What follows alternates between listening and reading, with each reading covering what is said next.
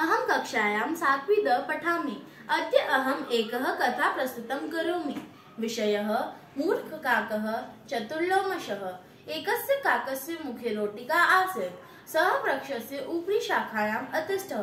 ततः एकः लोमशः तत्र आगच्छत्। लोमशः काकस्य मुखे मुखं रोटिका दृष्ट्वा च अचिन्तयत्। यदि एषः मुखं विर्वन् करोति, तदा अस्य रोटिका निश्चयः पतिष्यति। अहं च खादिष्यामि। सः उच्चैः मुखं कृत्वा वदति, हे काकः, त्वं तु अतिसुन्दरः अस्ति। तव स्वरः अपि मधुरः भवेत्। काकः, प्रशंसां श्रुत्वा यदा गायति, तदा तस्य मुख्यात् रोटिका अधः पतति। लोमशः रोटिका खादित्वा शीघ्रं ततः पालयनं करोति। धन्यवाद। नमो नमः महोदय। मम नाम कृष्णचन्दनः अस्ति। अहं षष्ठीकक्षायां पठामि। अहं सभासमक्षे गीतश्लोकं वदामि।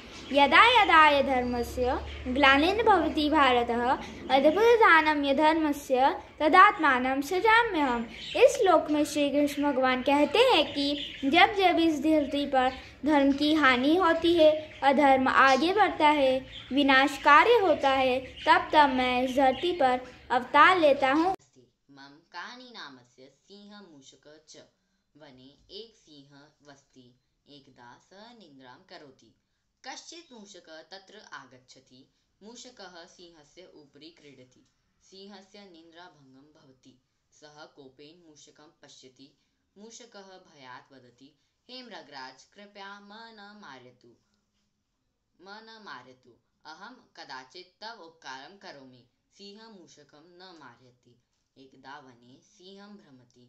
सः आखिटस्य जाले बद्ध भवति। तत् दृष्ट्वा मूषकः तत्र आगच्छति। मूषकः जालस्य कर्तनं करोति। सिंहः मूषकस्य मित्रं भवति। धन्यवादः।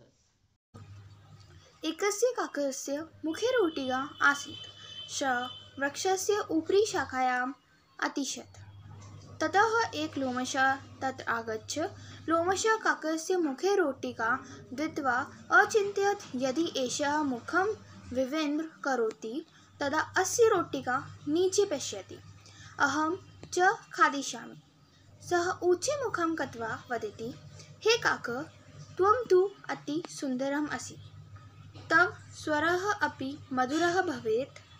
काकः पश्यसां कृत्वा यदा गायति, तदा कस्य मुखात् रोटिका अधः पपति।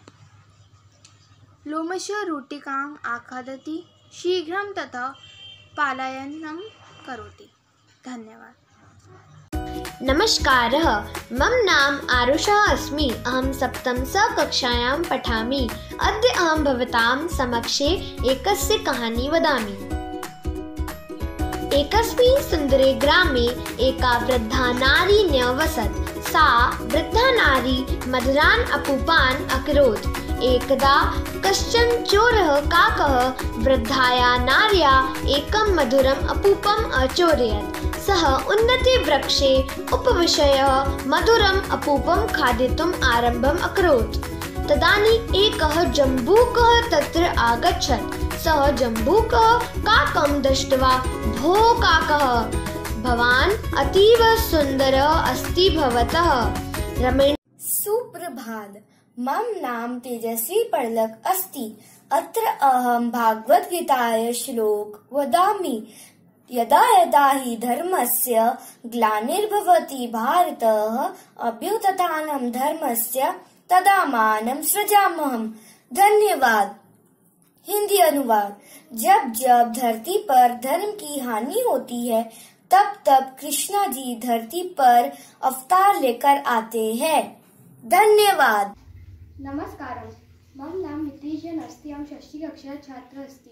मम विद्यालयस्य नाम सेण्ट् विन्सेण्ट बलोटि विद्यालयः अस्ति। अहं भवतां समक्षे श्रीमदः भागवद्गीताश्लोकं वदामि। धर्मक्षेत्रे, कुरुक्षेत्रे संवेदयुद्धः मांगपाण्डशे किं कुर्वत् संजय अर्थात, धृतराष्ट्र बोले, हे संजय धर्म भूमि कुरुक्षेत्र में एकत्रित युद्ध की इच्छा ने मेरे और पांडु के पुत्रों ने क्या किया? धन्यवादः। सुप्रभात, मम नाम प्रियांशी माठे अस्ति। अहं षट्कक्षायां पठामि। अहं भवतां समक्षे श्लोकं प्रस्तुतं करोमि। श्लोक, अनाशितः कर्मफल कार्यकर्म करोति यः। सः सन्यासी च, योगी च न निर्गिन्नर चाक्रियः। अर्थ, जो पुरुष कर्मफल पर आश्रित न होकर कर्तव्य कर्म करता है, वह सन्यासी और योगी है। ना कि वह जिसने अग्नि का और क्रियाओं का त्याग किया है। धन्यवाद। मम नाम स्वराध्वनि अस्ति। अहं षट्कक्षायां पठामि।